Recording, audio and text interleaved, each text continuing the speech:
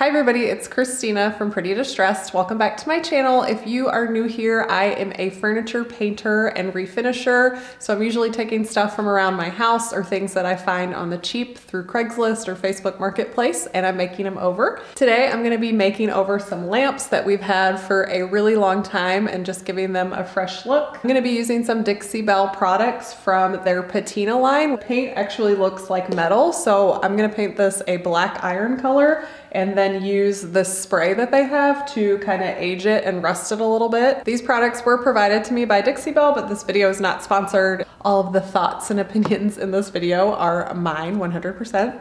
If this is your first time here, please think about subscribing before you leave and make sure you hit that bell notification so you'll be notified anytime one of my videos goes live.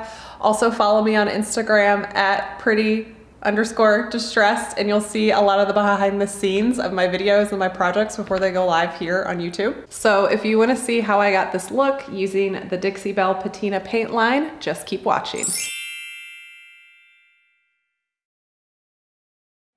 I'm working with this Dixie Belle patina paint today and the idea behind this is that they're all metal finishes so they have three colors, copper, bronze, and the one I'm gonna be working with today which is iron.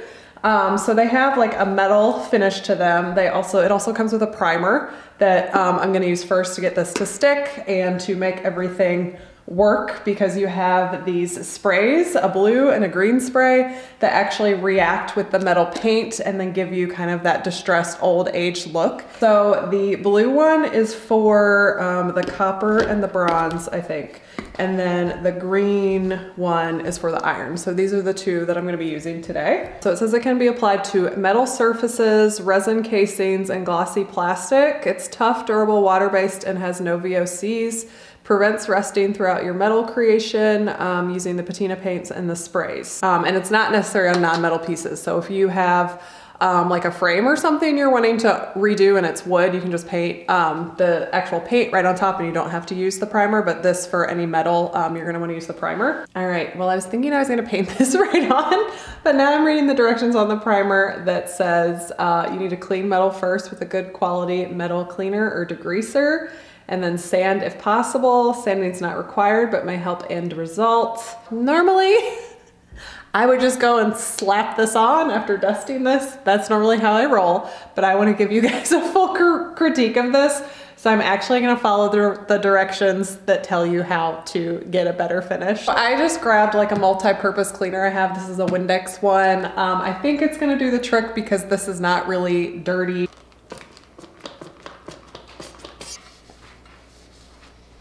Um, if you decide not to clean it though, at least um, wipe all the dust off because dust um, makes, you know, is not helpful when you're trying to get a primer or paint to stick to something. Okay, and now I am gonna take some just sandpaper I had on hand. This is a 150. I would do a medium grit like that. You could do a coarse too if that's all you have. So anywhere from like 80 um, to like 150 I think would be okay. I just grabbed a brush that I have and I'm gonna get all that dust out of these crevices. And then I'm gonna go um, over that with a tack cloth too and just make sure I don't have any dust residue. And then you can clean it one more time if you want. I think that's what this paint says, but it, this is looking shiny and clean to me. So I'm just gonna go ahead and jump into the primer paint. Okay, so this is water-based. So I'm just using um, just a paintbrush that I have. I use this to chalk paint sometimes, um, but it's not one of my favorite brushes. So I'm gonna use this one, but I should be able to clean everything up with soap and water. So you can use any type of brush you want. I don't think it matters if you have natural bristles, but this is natural bristle. So I'm shaking this up. So I'm just gonna dip it in here, start painting it on. Does this say low VOCs? It says no VOCs. It's kind of got an odor though, so I'm gonna pause for a second and open my windows. If you wanna use a mask, do that. Like the more protection you have, the better off you are. Um, you can wear gloves and all that. Okay, so I opened the window to get a little bit more ventilation going here. So it does have a pretty um, strong smell, a lot stronger smell than, than um, the like chalk paint, but it does say that it has no VOCs. It's covering pretty well, um, but they do recommend doing two coats. Wouldn't it be funny if I left it this color? this is pretty intense. Oh, this reminds me of my carpet in my bedroom growing up. And I had hunter green wallpaper. Girl, this was popular color in the 70s. Okay, so the directions say to apply two layers, so I'm gonna let this dry for one to two hours. It also says that I can clean this up with soap and water, but since I'm gonna do a second coat, I'm just gonna stick this guy in a Ziploc bag, like I always do to save it and keep that paint wet so I don't have to clean out my brushes in between coats. Okay, so it's been about an hour and 38 minutes and my uh, first coat is dry, so I'm gonna go ahead and take the prime start and do a second coat.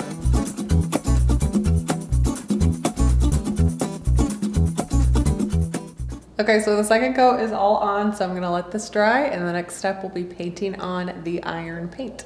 Okay, so this says the patina paint is ground metal in a non-toxic water-based acrylic binder. And it can be used on metal or non-metal, um, but that you do have to use the primer with the metal. Okay, I'm gonna shake this up and then I will zoom you in for the painting.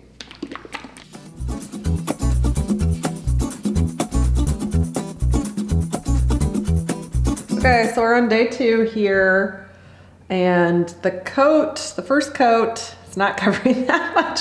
So I'm gonna do a little bit different of a technique. I read um, up on some people using this and watched some videos last night, so I'm gonna try to stipple it on here. So this is coat two of the iron. And depending on the coverage I get, we're gonna do the spray next um, to antique it. So I'm actually gonna get stipple it and give it some texture.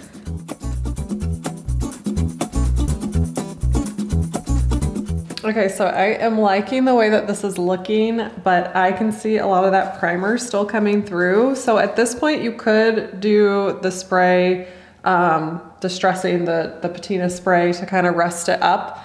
I'm thinking that I wanna do at least one more coat before I try that, because I just feel like if I do it right now, um, I'm not gonna be happy with it. So I'm gonna let this dry and I'm gonna come back for a third coat in just a little bit. So I'm gonna shake this up again and I'm gonna do the same stippling motion. I like the way that that's looking and covering. So that's what I'm gonna do on this coat as well.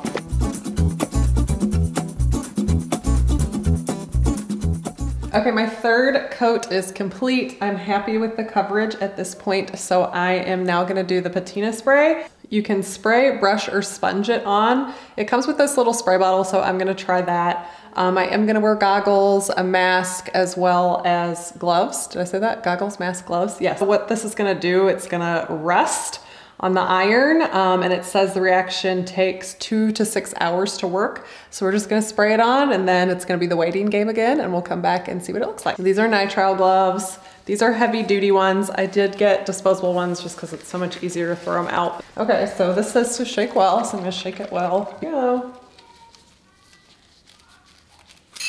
Oh, it's a big drip. I kind of want it more. Oh, hmm.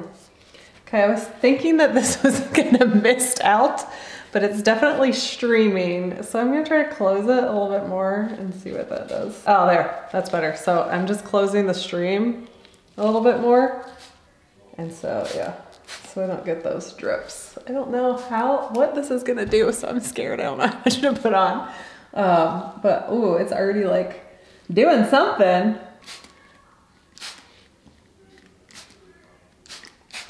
Okay, I'm just kind of being haphazard with it. I guess we'll just let this sit for like a couple hours, two to six hours as they said. I'll just kind of keep checking in and show you guys what we're looking like, but I'm hopeful. It's looking cool. Okay, so this is what it looks like after um, this has been dry for about two days. So I'm really liking the way that this area is looking and right here, but I do not like uh, what happened when I had the stream too strong with these drip marks. So I'm gonna go back over and paint this area and kind of cover up those uh, streaks and then spray the patina again and see if I can get more of like this look on here as opposed to um, these drip marks down here.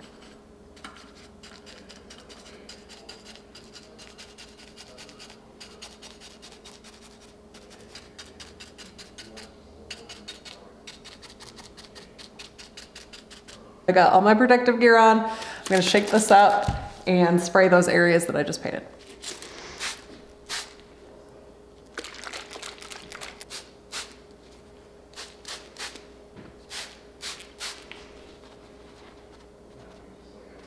So this project is finally complete. Here is what my lamps look like before and here they are after. My final thoughts on this paint is I really enjoyed it. It was so much fun to work with. It's almost like a science experiment and I can already think of tons of things that I wanna use it for around the house. If you guys wanna buy it, I will leave um, a link below to all the products that I used today. And my Dixie Belle link is an affiliate link. I really appreciate if you do use my affiliate link. I will get a small commission and it just helps keep this channel running and helps me bring you guys more content and more videos. I hope you guys enjoyed this video. If you like it, don't forget to give me a thumbs up or leave me a comment below or send me any questions that you have about the product. Thanks so much for watching and I'll see you guys next time.